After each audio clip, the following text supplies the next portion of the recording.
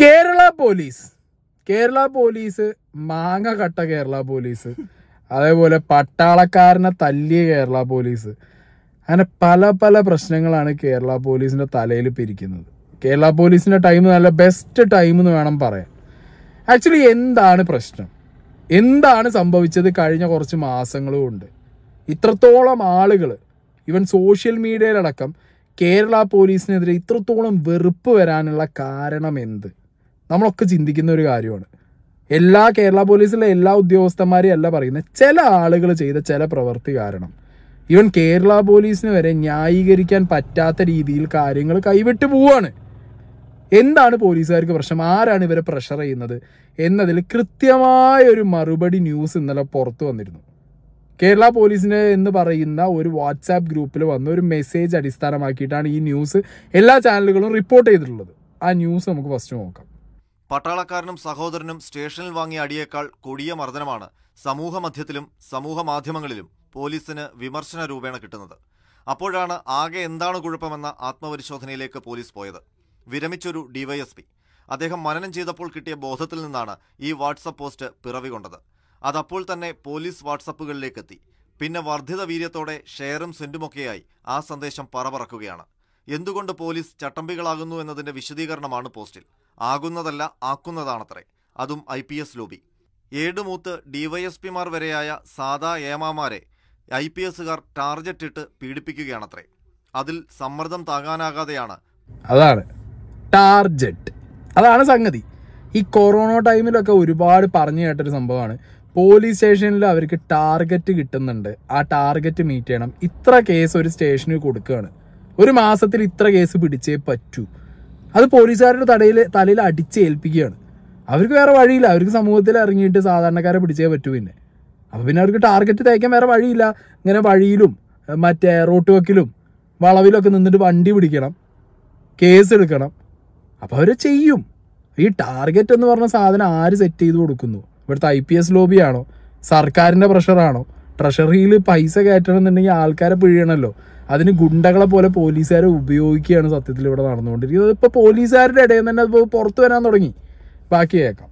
പാവം പിടിച്ച പൊതുജനങ്ങളെ തല്ലേണ്ടി വരുന്നതെന്നാണ് പരിഭവം. മികവിന് പേരെടുക്കാനുള്ള മത്സരത്തിൽ താഴെ തട്ടിലുള്ള ഉദ്യോഗസ്ഥർ കടുത്ത പീഡനം ഏറ്റുവാങ്ങുന്നു എന്നാണ് സാരം. ഓരോ എസ് എച്ച്ഒമാർക്ക് കേസുകളുടെ എണ്ണത്തിൽ ടാർഗറ്റ് നിശ്ചയിച്ചിട്ടുണ്ട്.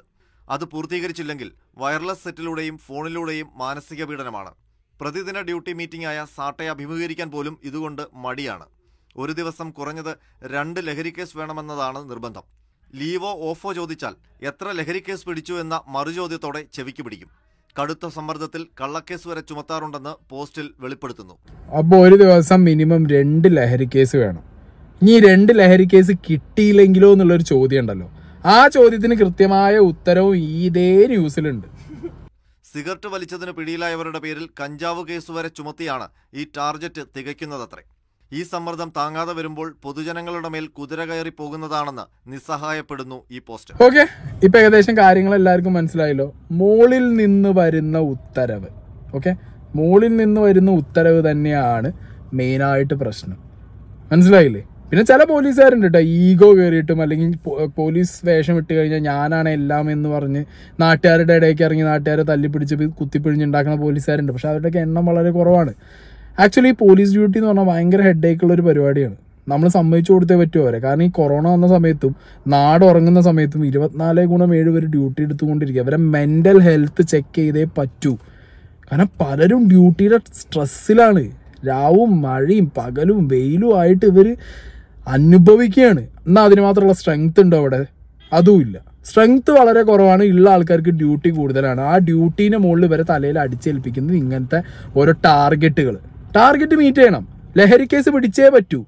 മോളിലുള്ള ഉദ്യോഗസ്ഥർക്ക് അതിനും മോളിലുള്ള ഉദ്യോഗസ്ഥരെ മുന്നിൽ ഷൈൻ ചെയ്യാൻ വേണ്ടിയിട്ട് ഞങ്ങൾ ഇത്ര കേസ് പിടിച്ചു. എന്റെ അണ്ടറിലുള്ള സ്റ്റേഷനിൽ ഇത്ര കേസ് അതിൽ ഇത്ര ലഹരി കേസ് അപ്പൊ പിന്നെ സിഗരറ്റ് വലിച്ച സാധാരണക്കാരന്റെ ഒരു കേസ് വന്നാൽ ആ സിഗരറ്റ് വലിച്ചവനെ പിടിച്ച് കഞ്ചാവ് വലിച്ചു എന്നാക്കും അങ്ങനെ പിടിച്ച് അകത്തിടും. എന്തുകൊണ്ടും പൊതുജനമാണ് അനുഭവിക്കേണ്ടത്. സാധാരണ പോലീസുകാർ നക്ഷത്രം എണ്ണം കുറവുള്ള പോലീസുകാരും നാട്ടുകാരും തമ്മിലുള്ള ഒരു ഇക്വിലിബ്രിയം അവർ തമ്മിലുള്ള ഒരു അടുപ്പം സ്നേഹം അല്ലെങ്കിൽ ഒരു നമ്മൾക്ക് പോലീസ് സ്റ്റേഷനിൽ പോവാന്ന് പറഞ്ഞു കഴിഞ്ഞാൽ എന്താ പറയുക ജനമൈത്രി പോലീസ് എന്നൊക്കെ പറയുമ്പോൾ നമ്മൾ വിചാരിക്കുക എന്താ ആണ് കയറി ചെല്ലാതെ നമുക്ക് പറയാ കാര്യങ്ങൾ സംസാരിക്കാം പക്ഷേ ഈ ടാർഗറ്റ് തയ്ക്കാൻ പ്രഷറായിട്ട് നിൽക്കുന്ന ആ പോലീസുകാരൻ വരുന്ന ഓരോ വ്യക്തിയും ഡീൽ ചെയ്യുന്നത് എങ്ങനെയാ? അവരെ ടാർഗറ്റ് ആയിട്ടാവും ഡീൽ ചെയ്യുന്നത് ആ. കാരണം അവർ അതിന് അതിന് അത് അവർക്ക് ചെയ്തേ പറ്റൂ. ഇല്ലെങ്കിൽ അവരെ പണി പോവും. അവരെന്താ വിചാരിക്കണ അറിയോ? ഒരു സാധാരണക്കാരൻ സ്റ്റേഷനിൽ കയറി വരുമ്പോൾ ആ ഇന്റെ ടാർഗറ്റ് ഏക്കാനുള്ള ഒരാളാണോ വരുന്നേ? അതാണ് അവരെ മനസ്സിൽ വരിക. കാരണം എന്താ? ടാർഗറ്റ് വെച്ചിട്ടുണ്ടെങ്കിൽ പണി പോവും. ചീത്ത കേൾക്കേണ്ടി വരും. ഈ ടാർഗറ്റ് ഒക്കെ എവിടുന്ന് വരുന്നത് ഇത് സാധാരണക്കാരെ പിഴിയാനാണോ ടാർഗറ്റ് ഈ ഐ പി എസ് ലോബി ഈ ടാർഗറ്റ് കൊടുക്കുന്നത് ഇവിടുത്തെ രാഷ്ട്രീയക്കാരെ അറിയാനായിട്ടാണോ അല്ല ഈ ആഭ്യന്തര വകുപ്പും ആഭ്യന്തരമന്ത്രിയൊന്നും ഇല്ലേ? പോലീസിന് അങ്ങനെ ഒരു വകുപ്പും ആ വകുപ്പിലൊരു മന്ത്രി ഇല്ലേ കേരളത്തിൽ അങ്ങനെയാണെന്നുണ്ടെങ്കിൽ ഇപ്പോൾ ഈ പരിപാടികളൊന്നും നടക്കില്ലല്ലോ. പോലീസിന്റെ ഇടയിൽ നിന്ന് പോലീസുകാരനെ പറയുന്നു ഞങ്ങൾക്ക് ടാർഗറ്റ് തയ്ക്കണം ഞങ്ങൾക്ക് ടാർഗറ്റ് ഉണ്ട് എന്നുള്ളത്. ഇതൊക്കെ ഞങ്ങൾ പൊതുജനാണോ അതൊക്കെ അനുഭവിക്കേണ്ടത്? ഇനി ഇന്നലെ ഇന്നലെ ഞാനൊരു വീഡിയോ ഇട്ടിരുന്നു. അതായത് ഒരു ഹാൻഡ്സ് വെക്കുന്ന പോലീസുകാരൻ എന്ന് പറഞ്ഞിട്ട്. അപ്പോൾ ആ ഒരു പോസ്റ്റ് വന്നതിന് ശേഷം കേരള പോലീസിന്റെ ഒരു പേജിൽ ഇങ്ങനെ ഒരു പോസ്റ്റ് വന്നു. ഇത് കേരള പോലീസ് അല്ല സമൂഹ മാധ്യമങ്ങളിലെ പ്രചാരണം വ്യാജം എന്ന് പറഞ്ഞിട്ട്. ഓക്കെ ശരിയാണ് ആ പോലീസുകാരൻ കേരള പോലീസിലുള്ള ആളല്ല. അത് കേരള പോലീസ് അല്ല ഞാനും അന്വേഷിച്ചു. ഓക്കെ. ഞാൻ ആ ഒരു പെർട്ടിക്കുലർ പോസ്റ്റിൽ കേരള പോലീസ് എന്ന് പറഞ്ഞതിൽ ഞാൻ സോറി പറയുകയാണ് അത് കേരള പോലീസ് അല്ല ശരിയാണ്. പക്ഷേ അത് ആന്ധ്ര പോലീസ് ആണെങ്കിൽ ഓക്കെ? ഇനി ഈ പോസ്റ്റ് ഇട്ട് ഈ പെർട്ടിക്കുലർ പോസ്റ്റ് ഞാൻ ഇവിടെ വെക്കുന്നുണ്ട്. ഈ പോസ്റ്റിൽ കാണിക്കുന്നത് വാഗ്നർ കാറാണ്. Andhra Pradesh registration A P registration പക്ഷെ ആ പോലീസുകാരൻ നിന്ന് ഹാൻഡ്സ് തിരുമുന്ന ആ ഒരു പെർട്ടിക്കുലർ വീഡിയോന് മുന്നിലുള്ളത് ഒരു ടാറ്റ ഇൻഡിക്കയാണ് കെ എൽ സീറോ സെവനോ അങ്ങനെ എന്തോ കെ എൽ വണ്ടിയാണ് അപ്പോൾ അത് അപ്പം നിങ്ങളൊന്ന് ആലോചിച്ച് നോക്ക് നിങ്ങൾ ഈ ഒരു പെർട്ടിക്കുലർ സംഗതി.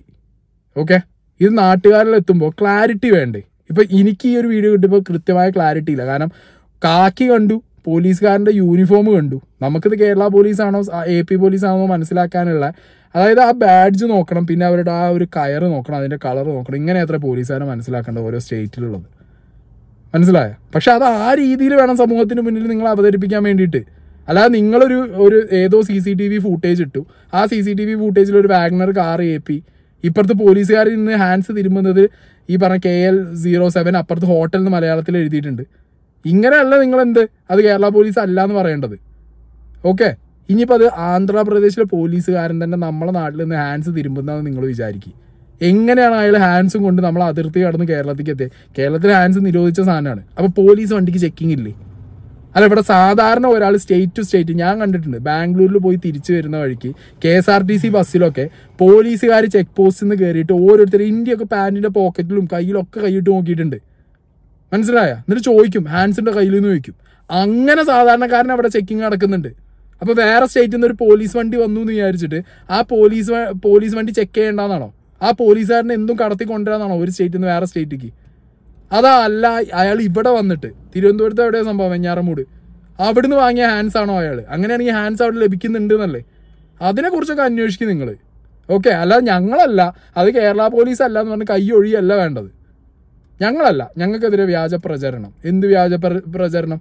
ഓക്കെ നിങ്ങളല്ല എന്നുള്ളത് ഞാനും സമ്മതിച്ചു. നിങ്ങളല്ല. പക്ഷെ ഈ പോലീസുകാരൻ ആന്ധ്രാപ്രദേശ് പോലീസുകാരന് എവിടുന്ന് ഹാൻഡ്സ് കിട്ടി?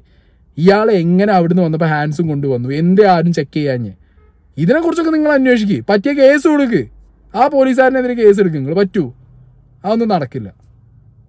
അപ്പോൾ സംഗതി എന്താന്ന് വെച്ച് കഴിഞ്ഞാൽ നിങ്ങൾക്കുള്ള പ്രഷർ സാധാരണ പോലീസ് നക്ഷത്രത്തിന്റെ എണ്ണം കുറവുള്ള പോലീസുകാർക്ക് മേലുദ്യോഗസ്ഥന്റെ കയ്യിൽ നിന്ന് വരുന്ന പ്രഷർ തീർക്കേണ്ട ആളുകളല്ല പൊതുജനം എന്ന് പറയുന്ന ഞങ്ങൾ ഞങ്ങൾ ഓൾറെഡി ഇവിടെ ജീവിക്കുന്ന ടാക്സ് അടച്ച് കരമടച്ച് സർക്കാരിന് എല്ലാ പരിപാടികൾക്കും വേണ്ടിയിട്ടും ഫണ്ട് കൊടുത്തിട്ടുണ്ട് ഇപ്പം പാർട്ടി പരിപാടിക്ക് വരെ ഫണ്ട് വാങ്ങും.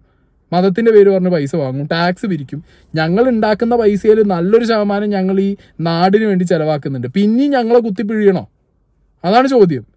ടാർഗറ്റ് തയ്ക്കാൻ വേണ്ടി പിന്നെ ഞങ്ങളെ കുത്തിപ്പിഴിയണം. എന്താണെങ്കിലും വളരെ മോശം ആണ് ഇങ്ങനെ ഇങ്ങനെ ടാർഗറ്റ് തയ്ക്കാൻ വേണ്ടിയിട്ട് നാട്ടുകാരെ പിടിച്ചിട്ട് കള്ളക്കേസ് ഇടണു എന്നൊക്കെ പുറത്തു വന്നത്. സത്യത്തിൽ കേരള പോലീസ് ഭയങ്കര ഒരു മോശത്തരം തന്നെയാണ്. ഓക്കെ എല്ലാ പോലീസുകാരും ഞാൻ പറയുന്നുമില്ല. കാരണം എനിക്കറിയാവുന്ന ഒരു തൊണ്ണൂറ്റൊമ്പത് ശതമാനം നല്ല ആൾക്കാർ ഏതെങ്കിലും ഒരു ശതമാനം ആളുകളാവും ഈ ടാർഗറ്റ് തയ്ക്കാൻ വേണ്ടിയിട്ട് ഇവർ ചൂസ് ചെയ്യുന്നത്. കാരണം അയാൾക്ക് അയാളുടെ അവസ്ഥ കൊണ്ട് അങ്ങനെ ചൂസ് ചെയ്യപ്പെട്ട് നിന്ന് കൊടുക്കേണ്ട ഒരു അവസ്ഥയായിരിക്കും. ചെയ്തേ പറ്റൂ എന്നുള്ള അവസ്ഥയായിരിക്കും.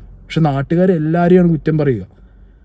സോ ഇതിൽ ആഭ്യന്തര വകുപ്പ് ഇടപെടണം ആഭ്യന്തര മന്ത്രി ഇടപെടണം ടൂർ അടിച്ച് നടന്നിട്ട് കാര്യമില്ല. ജനങ്ങളും പോലീസും തമ്മിലുള്ള ഒരു ബന്ധം അതൊരു ഇക്വിലിബ്രിയത്തിൽ ഇങ്ങനെ കൊണ്ടു നടക്കണം. അത് നല്ല രീതിയിൽ മുന്നോട്ട് പോകണം. ഇല്ലാതെ നാളെ പോലീസുകാരെ കണ്ടാൽ പേടിക്കാനും അല്ലെങ്കിൽ പോലീസുകാരെ കണ്ടാൽ ചീത്ത പറയും. ഇപ്പം തന്നെ നിങ്ങൾ ആലോചിച്ചു ഞാൻ ഇന്നലെ ആ പോസ്റ്റ് ഇട്ടു. ഓക്കെ സംഗതി എനിക്കും അറിയില്ല അത് കേരള പോലീസാന്നുള്ളത് ഏ? അതിനടിയിൽ വന്ന കമന്റ് കേരള ഈ കേരള പോലീസ് അല്ല എന്ന് അറിഞ്ഞാലും അതിനടിയിൽ കേരള പോലീസ് കേരള പോലീസ് ഇന്നലെ ഇട്ട പോസ്റ്റിന് അടിയിൽ നിങ്ങൾ പോയി വായിച്ചു നോക്ക്. മാങ്ങ കട്ട പോലീസ് പട്ടാളക്കാരനെ തല്ലിയ പോലീസ് നിങ്ങൾ ഇങ്ങനെ ന്യായീകരിക്കും അങ്ങനെ ആയിരിക്കും നിങ്ങൾ പലതും വെളുപ്പിക്കും എന്ന് പറഞ്ഞിട്ട് കേരള പോലീസിന് പൊങ്കാലിട്ട് കൊണ്ടിരിക്കുന്ന നാട്ടുകാർ സോഷ്യൽ മീഡിയയിൽ ഏറ്റവും കൂടുതൽ പൊങ്കാല വാങ്ങുന്നത് കേരള പോലീസാണ് ഇപ്പോൾ കേരള പോലീസിന്റെ പേജുകളിലാണ്. എന്താ കാരണം? ആ ഒരു ബന്ധം നഷ്ടപ്പെട്ടു. പൊതുജനവും കേരള പോലീസും തമ്മിലുള്ള ബന്ധം പോയി. ആരാ കാരണക്കാർ ഈ മേലുദ്യോഗസ്ഥർ ഈ ഐ പി എസ് ലോബി ആണെന്നുണ്ടെന്നുണ്ടെങ്കിൽ അവർക്കെതിരെ ആക്ഷൻ എടുക്കണം ആഭ്യന്തര വകുപ്പ്. അതിനുള്ള നട്ടല്ല കാണിക്കേണ്ടത്